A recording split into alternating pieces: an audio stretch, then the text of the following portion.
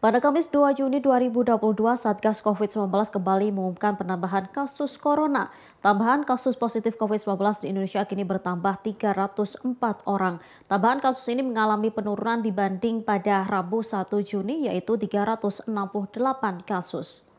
Kasus baru kali ini berkurang sebanyak 64 kasus dibandingkan hari Rabu kemarin. Sehingga dengan adanya tambahan tersebut, total kasus sejak pertama kali corona masuk Indonesia adalah sebanyak 6.055.645 kasus. Sementara jumlah pasien yang sembuh dan meninggal dunia akibat COVID-19 juga masih terus bertambah. Dalam periode yang sama, jumlah pasien sembuh dari COVID-19 sebanyak 334 orang sehingga jumlah total pasien sembuh mencapai 5.895.940 orang. Sedangkan jumlah pasien yang meninggal dunia akibat virus ini di Indonesia sebanyak 6 orang. Dengan penambahan tersebut, jumlah kematian akibat COVID-19 total ada 156.600 orang. Adapun untuk total kasus aktif di Indonesia sebanyak 3.105 orang. Pemerintah juga mencatat adanya kasus suspek yaitu sebanyak 2.333. Kemudian ada 59.523 spesimen terkait corona yang diperiksa hari ini.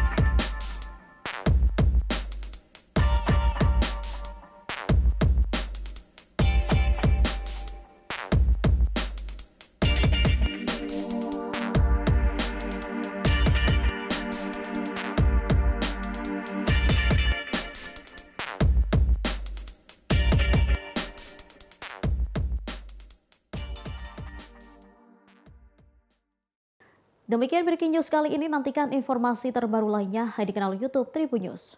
Terima kasih sudah nonton. Jangan lupa like, subscribe, dan share ya.